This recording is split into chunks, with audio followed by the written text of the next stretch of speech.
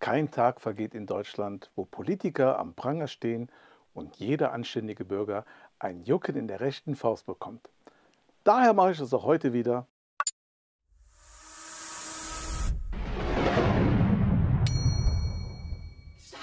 Jetzt geht's los!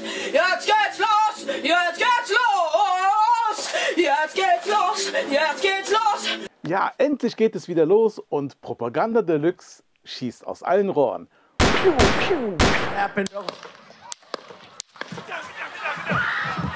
Oh, die Olympiasiegerin Vogel hatte noch im Oktober 2021 erklärt, die Impfung sei eine Bürgerpflicht. Impfen? nee, komm.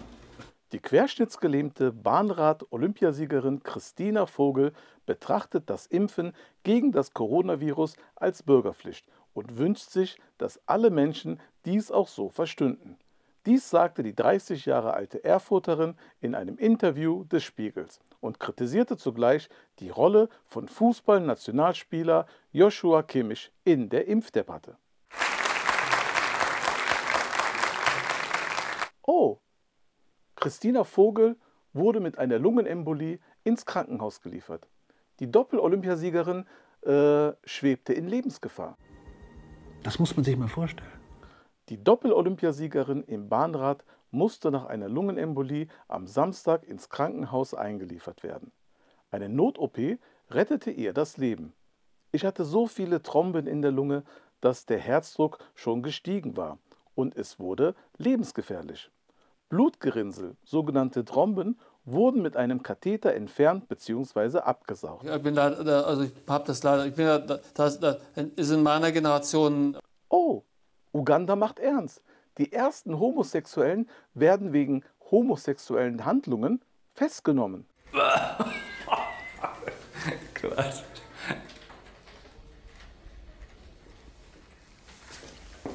Die zwei Männer und zwei Frauen sollen nach Angaben der Nachrichtenagentur AFP im Bezirk Buigwe, eine Region in Zentraluganda am Viktoriasee, inhaftiert worden sein. Das neue Anti-Homosexuellen-Gesetz verpflichtet alle Bewohner des Landes, verdächtige Menschen, die homosexuell sein könnten, den Behörden zu melden. Das gilt auch für Familienmitglieder. Reden Sie keinen Quatsch. Wer dies unterlässt, dem droht ebenso eine mehrjährige Haftstrafe.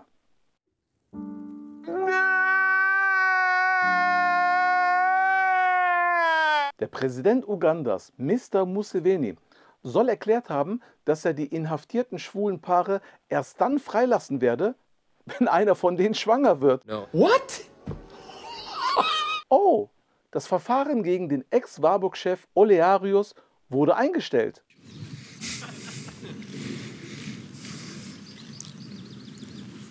Das war's.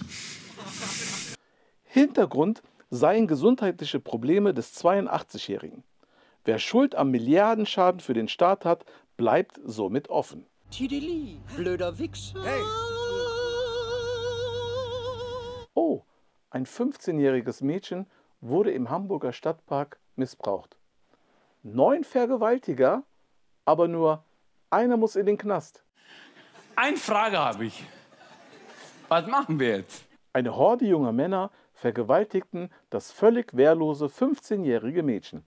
Ermittler stellten Spermaspuren von mindestens neun verschiedenen Tätern fest. Jetzt das Urteil. Nur ein Vergewaltiger muss in den Knast.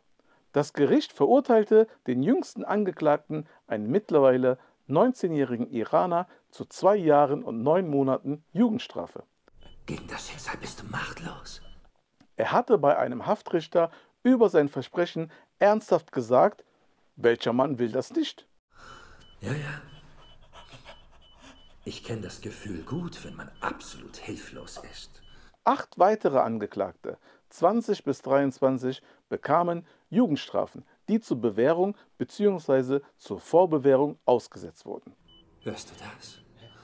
Ist ja unfassbar. In diesen Fällen wird in sechs Monaten entschieden, ob es bei der Bewährung bleibt oder ob die Verurteilten noch in Haft kommen. Ein Angeklagter äh, wurde freigesprochen. Das wird das Letzte sein, was du zu sehen kriegst.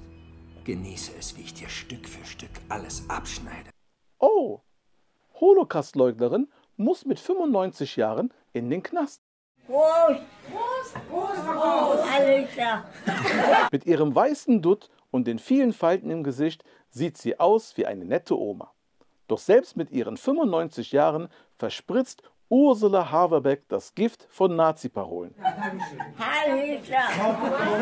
Am Mittwoch wurde die Holocaustleugnerin im Landgericht Hamburg wegen Volksverhetzung zu einem Jahr und vier Monaten Gefängnis verurteilt. Das ist doch wirklich nicht zu fassen! Diese drei Beispiele, die ich genannt habe, die stehen als Synonym für das beste Deutschland aller Zeiten. Ja, die Omi, die muss wirklich der Pechvogel des Jahres sein, weil sie hat weder einen Migrationshintergrund und noch ist irgendein guter Buddy von Olaf. Oh, Spaniens Transgesetz zeigt unerwartete Folgen. Ja, was machen Sachen? Die Frauen fühlen sich in Umkleidekabinen ausspioniert. Und gewalttätige Männer nutzen die Gesetzesänderung, um als Transfrauen geringe Strafen zu erhalten. Was? Der Auslöser war die Entscheidung zweier Sanitäter, von einem Tag auf den anderen ihr Geschlecht offiziell zu ändern und sich als Frauen zu deklarieren. Seitdem sind Antonio und Jesus, die ihren Namen beibehalten haben, Was? regelmäßig in den Umkleide- und Duschbereichen der Frauen anzutreffen und machen von ihren neuen Rechten als Transfrauen intensiv Gebrauch. Das ist doch aber sinnlos. Humor ist, wenn man trotzdem lacht. Falls auch Sie der Meinung sind, dass die Ampel schon... Oh, der Bürgermeister von Duisburg ruft mich gerade an. Ja? हाँ nine ten eleven Aha, हमने जाएंगे आपसे eleven double train okay. भाई मिले चाहे बहन कैसी बनाई आपकी हाँ। आपने और आपके बाप ने लेन डबल लाइन आप खेदेंगे लाइन क्या हम कर देंगे sign Oh, double eight number कर लो सीट आपसे हो जाए पेट नंबर सेवन आपका सही number Avon ähm, double six leg auf. TV देखो Äh, नमकीन करो मैं ich rufe dich gleich zurück. Ich bin gerade mitten in der Sendung. Puh, der, Duisb äh, der Duisburger Bürgermeister ist sehr aufgebracht, weil der Ausländeranteil in Duisburg-Marxloh sei auf 87 Prozent gesunken. Das sind auch für mich schlechte Nachrichten. Falls Sie aber auch der Meinung sind, dass die Ampel schon genug für Deutschland gemacht hat äh, und es Zeit gekommen ist, leise aber weise abzutreten, sagen Sie mit mir zusammen,